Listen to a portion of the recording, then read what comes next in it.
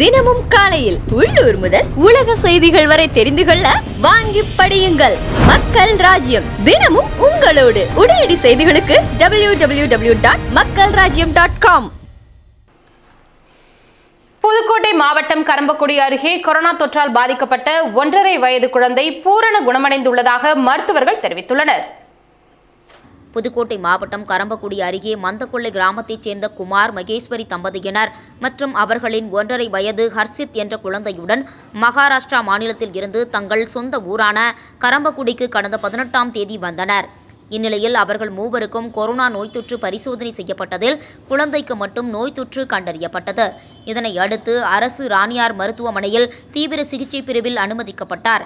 தொடர்ந்து சிகிச்சை மூலம் அந்த குழந்தை உடல்நலம் தேறி இரண்டு நாட்களிலேயே இயல்பு நிலைக்கு திரும்பியது.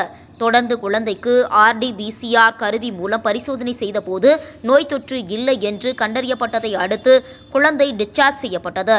இது குறித்து மருத்துவமனை முதல்வர் டாக்டர் மீனாட்சி சுந்தரம் கூறுகையில் கொரோனா நோய் தொற்றால் பாதிக்கப்பட்ட ஒன்றரை வயது குழந்தையை டாக்டர்கள் மீட்டெடுத்திருப்பது ஒரு பெரிய சாதனை என தெரிவித்தார். மேலும் தமிழக அரசு மற்றும் மக்கள் நல்வாழ்வுத்துறை அமைச்சரின் துரித நடவடிக்கையினால் புதுக்கோட்டை மாவட்டத்தில் அரசு ராணியார் மருத்துவமனை தனிமைப்படுத்தப்பட்ட நோயாளிகளுக்கான மருத்துவமனையாகவும் நாற்பது லட்சம் ரூபாய் செலவிலான வைரஸ் ஆய்வக கருவிகளும் இங்கு நிறுவப்பட்டுள்ளன.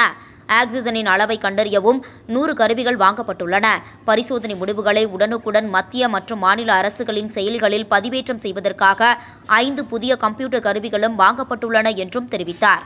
கோவிட் பாசிட்டிவாக இருந்த ஒரு ஒன் இயர் பாய் பேபி வந்து டிஸ்சார்ஜ் பண்ணுறோம் இந்த நல்ல நிகழ்வுக்கு அந்த குழந்தைக்கு வந்து நம்ம டாய்ஸ் கொடுத்து இப்போ வழி அனுப்பி வைக்கிறோம்.